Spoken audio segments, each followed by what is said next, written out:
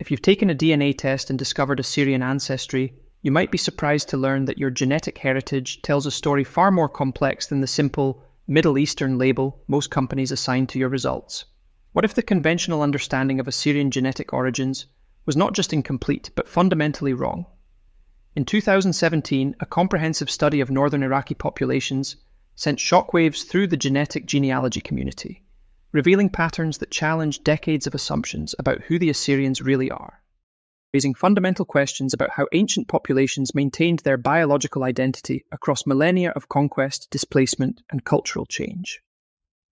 The mystery of Assyrian genetic origins begins with the extraordinary continuity observed in their DNA across more than 4,000 years. Modern genetic studies reveal that contemporary Assyrians are direct descendants of ancient Mesopotamians. Archaeological evidence from northern Mesopotamia shows continuous human habitation around the ancient city of Ashur, for over 6,000 years. The genetic signature of these early inhabitants, characterized by ties to the ancient farmers of the Fertile Crescent, who first developed agriculture, has persisted with remarkable stability. Most ancient populations that built large empires experienced significant genetic transformation through conquest, migration, and intermarriage with subject peoples. The paternal genetic heritage of Assyrians reveals another layer of mystery through their Y chromosome distribution patterns. Modern Assyrian populations show a complex mixture of Y chromosome haplogroups that reflect both ancient Mesopotamian roots and more recent population interactions. The most prevalent haplogroups include J2 and J1, which are strongly associated with early farming populations and ancient city states in the Fertile Crescent region. These lineages likely represent the genetic legacy of the original Mesopotamian populations, who developed urban civilization and agricultural surpluses that enabled the rise of complex societies. However, the presence of other Y chromosome lineages, including R1b, R1a, and T, adds complexity to the genetic picture. Haplogroup R1b, in particular, has been measured at significant frequencies among Iranian Assyrians, reaching up to 40% in some studies. This high frequency is intriguing because R1b is typically associated with populations from the Caucasus and later Bronze Age migrations.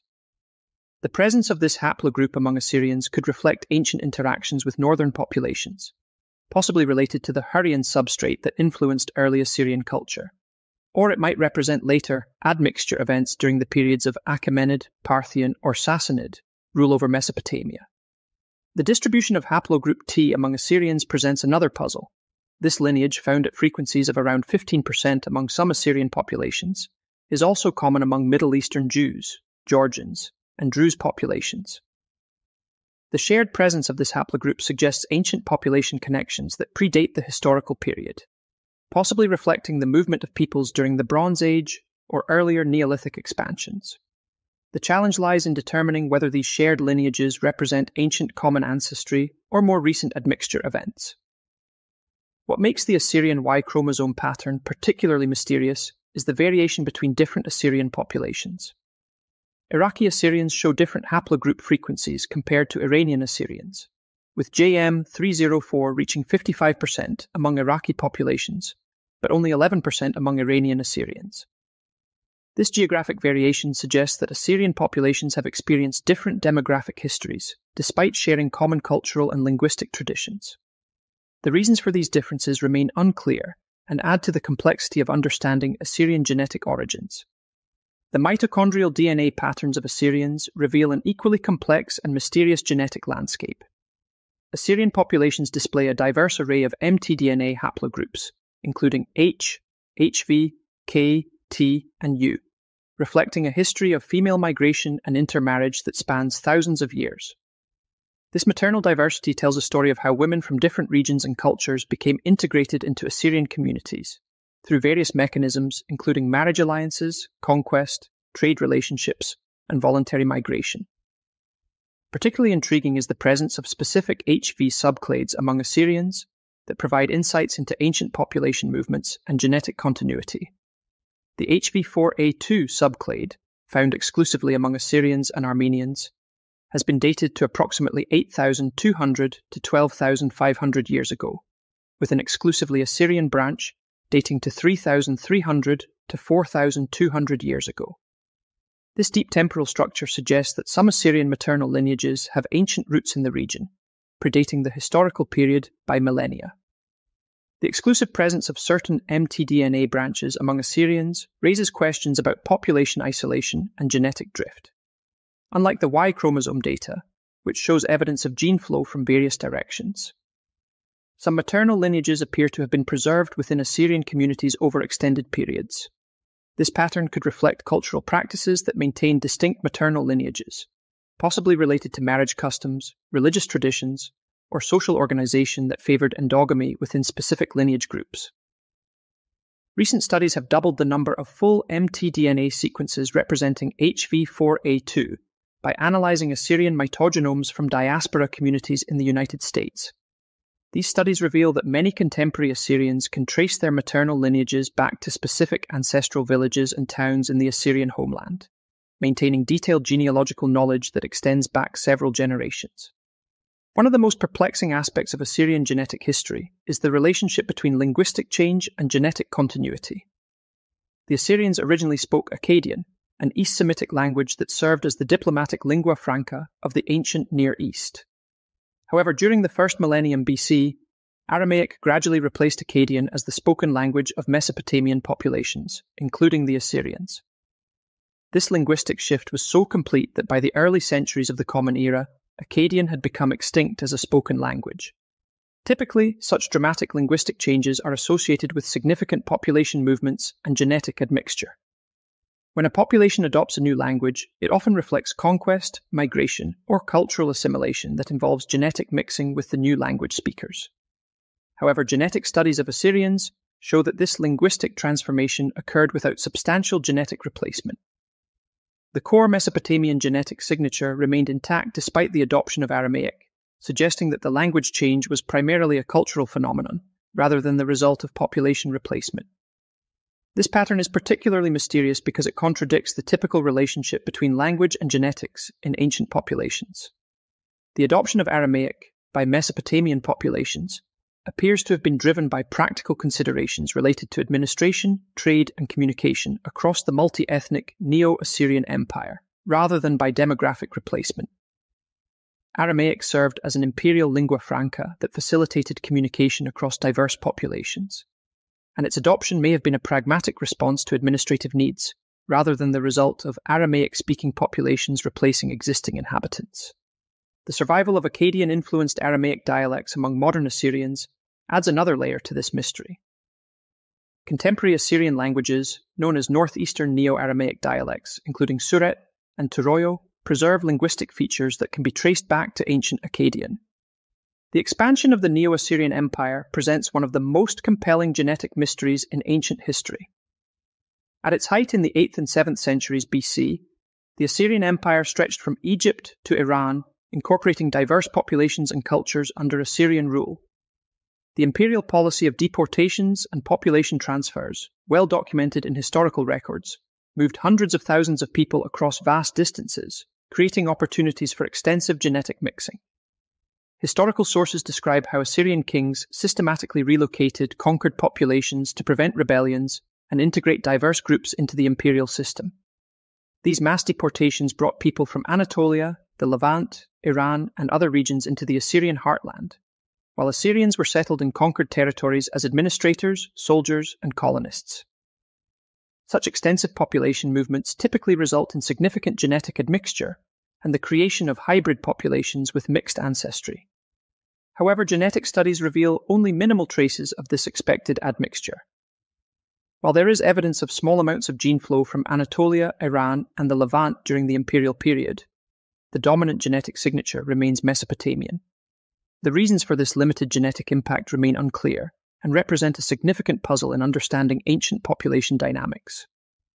One possible explanation is that Assyrian imperial policies maintained ethnic hierarchies that limited intermarriage between Assyrian administrators and local populations. Elite Assyrian families may have practiced endogamy to preserve their status and identity, resulting in limited genetic mixing despite extensive cultural and political interactions. Alternatively, the demographic impact of deportations may have been smaller than historical records suggest, with most population movements involving relatively small numbers of people compared to existing populations. The conversion of Assyrians to Christianity in the 1st through 3rd centuries AD introduced new cultural dynamics that may have influenced their genetic patterns. Unlike many other populations in the Middle East, Assyrians maintained their Christian faith through successive waves of conquest by Persians, Arabs, Mongols, and Turks. This religious continuity created social boundaries that may have contributed to genetic isolation and the preservation of ancient genetic lineages. Christian Assyrian communities developed distinct ecclesiastical and cultural traditions that emphasized their unique identity and heritage.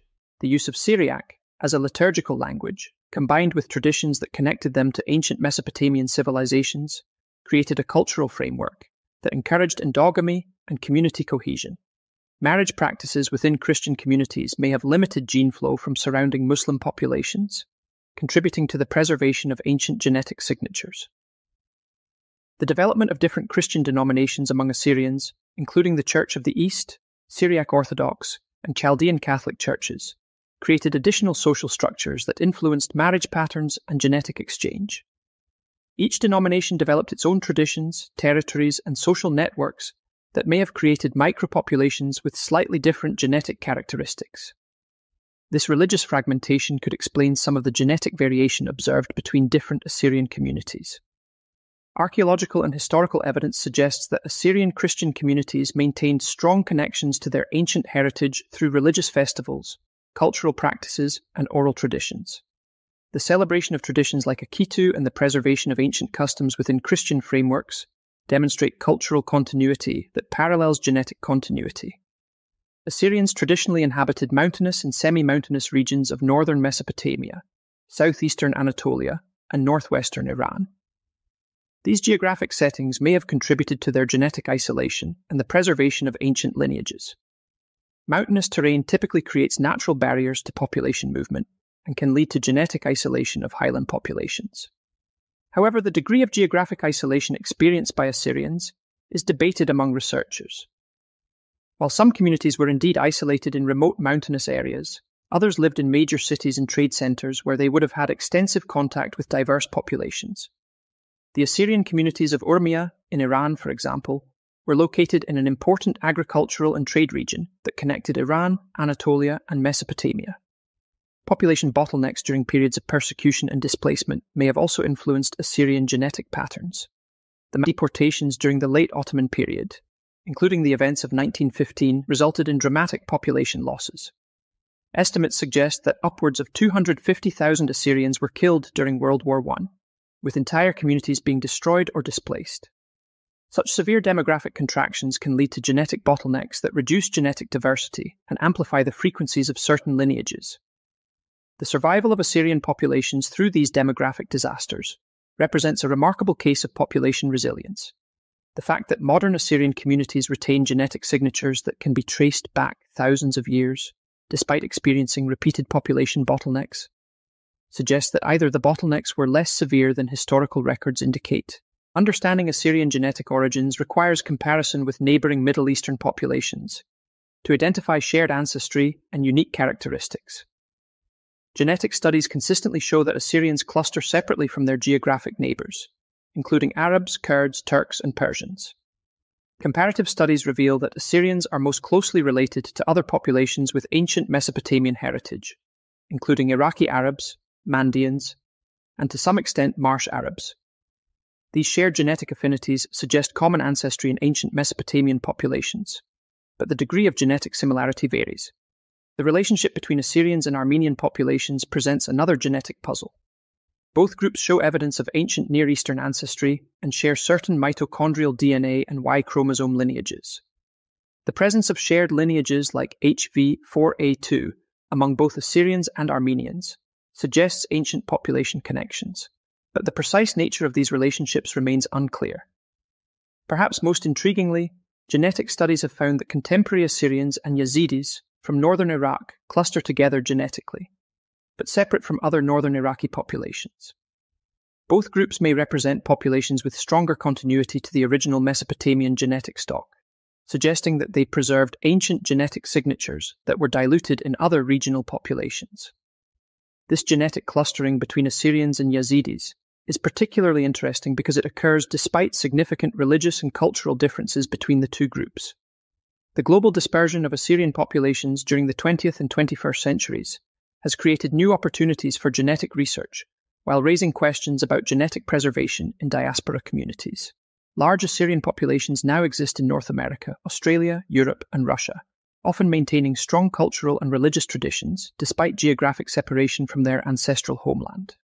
The cultural identity of modern Assyrians is vividly expressed through their distinctive clothing styles, intricate traditions, and evolving practices, serving as both a reflection of millennia old heritage and a living adaptation to contemporary realities.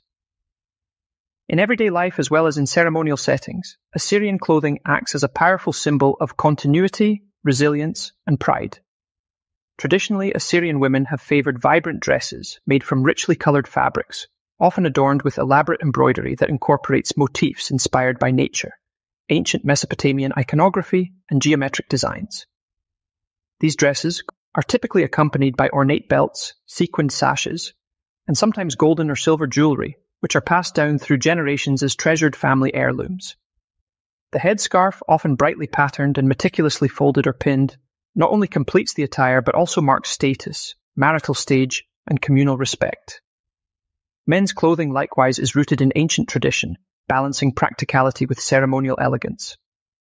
The characteristic shirkana, a long tunic, is frequently seen at weddings and church events, typically sewn from high quality fabrics in neutral or earth toned hues. It is often teamed with embroidered vests, a broad, intricate belt, and occasionally a traditional head covering known as komta. In rural villages or special occasions, men may wear heavier cloaks or capes during colder months, reflecting regional adaptations that have survived for centuries. Assyrian cultural practices extend far beyond visible attire, encompassing rituals, music, language, and social organization. Religious observances remain central to Assyrian life, with church services offered in Neo Aramaic dialects and liturgical ceremonies passed down through centuries. Festivals such as Kha b-Nisan the Assyrian New Year, Easter, and patron saint commemorations gather dispersed communities in vibrant displays of unity. Wedding ceremonies are elaborate affairs, often lasting several days, blending ecclesiastical traditions with secular celebration. Brides are typically adorned in dazzling dresses featuring metallic thread or beadwork, and grooms in finely tailored suits or traditional tunics, surrounded by guests who display a breathtaking array of Assyrian textile artistry. Historically, persecution, displacement, and migration have deeply shaped Assyrian self conception. This ongoing dialogue between past and present ensures that Assyrian culture and community life will persist, changing yet rooted in remembrance and hope.